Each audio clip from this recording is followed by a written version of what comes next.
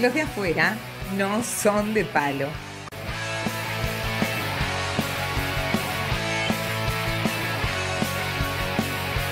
Cancha, mete hasta el medio, centro, segundo palo, Bentancur. Había gol de Peñarol cuando la bajaba Bentancur de pecho, pero Línea dice que nada de esto valía por posición adelantada. Ahora sí, ahora sí se salva Albion. Y la tienen que revisar también por las dudas, ¿no? Pero digo, la verdad que un centro del pibe Rossi, capaz que te grita el gol todavía, espera un poquito.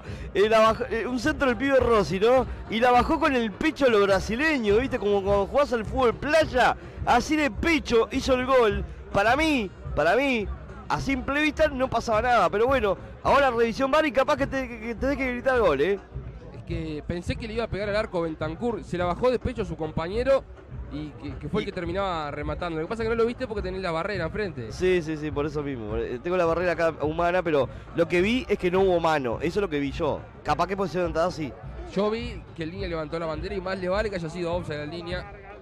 Más le vale. No, eh, vas a tener que gritar gol. Te digo que vas a tener que gritar gol, ¿eh? Es lo que no entiendo de, lo- de los offside. ¿Cuál es, ¿Por qué a veces los cobran rápido y a veces no? Y es la categoría del árbitro también, ¿no? Bueno, Eh, el nivel del árbitro. Mirá, si- mirá si- cómo está la gente como loca. porque si seguimos un criterio debió haber dejado seguir que sea gol y que después se revise. Claro. ¿No? eh, exactamente. Pero se apuró. El tipo tenía incontinencia urinaria.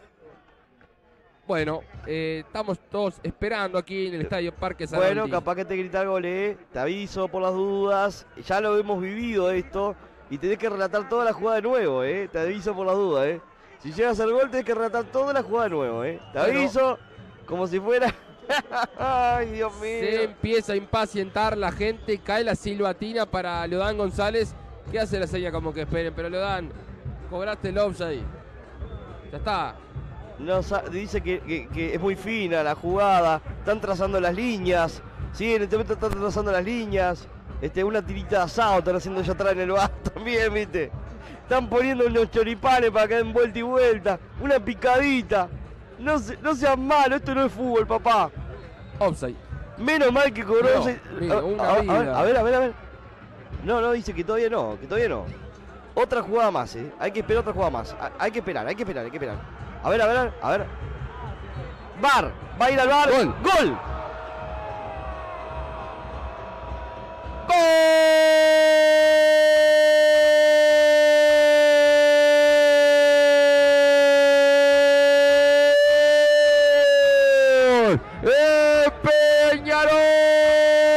Se pone en ventaja, pero qué espera, pero qué larga espera para que al fin se ponga en ventaja Peñarol. Ahora pasa a ganar el equipo carbonero Peñarol 1, Albion 0. Bueno, amigas amigos, el VAR acaba de dictaminar que sí fue gol. Lo que habíamos visto en primera instancia, que no pasaba naranja, que se había apresurado en línea. Gol lícito de Peñarol, que era lo que habíamos visto en primera instancia todos. Peñarol 1, Albion 0. Bueno, nos ponen en los comentarios, eh, a ver, varios comentarios diciendo no era offside. Y, y vuelvo a repetir, ¿en qué se basan para apurarse o no a cobrar los offside, los líneas? Toma carrera el número 28, Neris. En el arco, Kevin Dawson.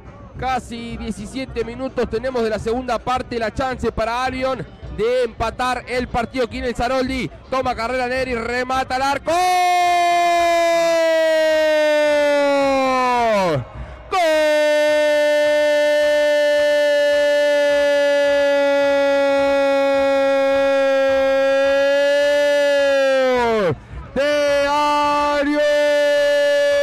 Llegó el empate nomás por intermedio del penal. Neris dice que ahora el partido está igualado, pero con goles. Peñarol 1, Albion 1. Y se paró como para cruzarla, pero la colocó.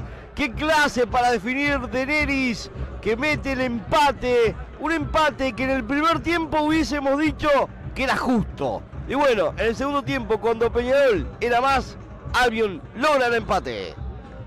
Sale desde el fondo ahora Peñarol que tiene que apurar si quiere algo más. El lanzamiento largo era del Cachila Arias. Arriba saca la pelota izquierda, viene a complementar Ancheta, lo traba por ahí Cepelini, ganó la pelota nomás. Ahora mete el pase, viene la pelota para Alonso, llega hasta el fondo, mete el centro, rastrero, saca la pelota Goyeni, rebota el el remate.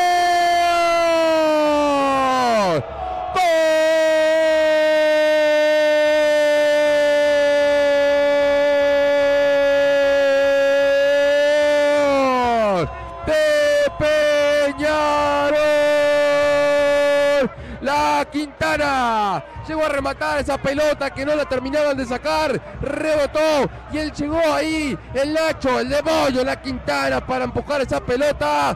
Peñarol se vuelve a poner en ventaja. Peñarol 2, Albion 1. Y el Diablo La Quintana metió la cola, pero más que la cola metió un golazo. Impresionante cómo se metió el shot violento de La Quintana. Se metió Alonso, driblió, rebotó la pelota y cuando le dejaron un cachito, la mandó a guardar. La Quintana, Peñarol 2, salió 1. Ahí por ese sector el jugador Pizorno lo va a encarar, encara Alonso, mete el centro de rastreo para Sarabia.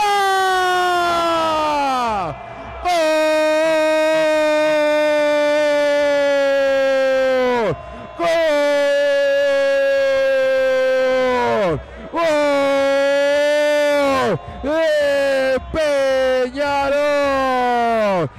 Remate de Sarabia, pero todo, todo el mérito fue para Alonso por pelearla, por ir hasta el fondo, por meter el centro rastrero ante la marca de los hombres de Albion. Llegó para definir Sarabia. Peñarol amplía la ventaja. Peñarol 3, Albion 1. Y de la cantera llegan noticias. El jugador Alonso que desde que entró ha jugado maravillosamente bien. Alonso, un revulsivo importante, la peleó, la cuerpió, la llevó y de atrás el cachetazo lo dio el cachete Sarabia. Peñarol 3, Avión 1, va a ganar Peñarol. Los de afuera no son de palo.